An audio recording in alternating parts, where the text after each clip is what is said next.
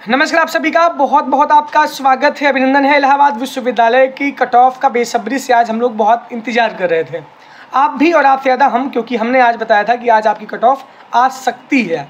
लेकिन अभी सर से बात हुई और टेक्निकल इशू की वजह से देर शाम तक अभी वहाँ पे सूचना मिली है कि टेक्निकल इशू की वजह से सर्वर यहाँ पे डाउन है।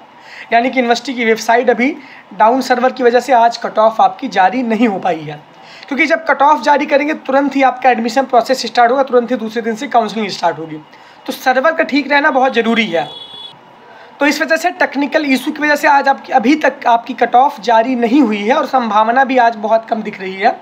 जैसा ही सर्वर ठीक होता है, वैसे ही कट ऑफ़ आपकी जारी हो जाएगी, क्योंकि आज कोऑर्डिनेटर्स की बैठक हुई। सारी चीज़ें अब उनको बता दी गई हैं कट ऑफ़ भी एक तरीके से बन के तैयार ही है।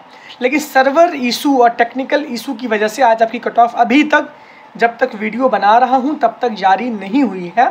ये सूचना आप सबके लिए है, आप लोग बहुत परेशान मत होइए।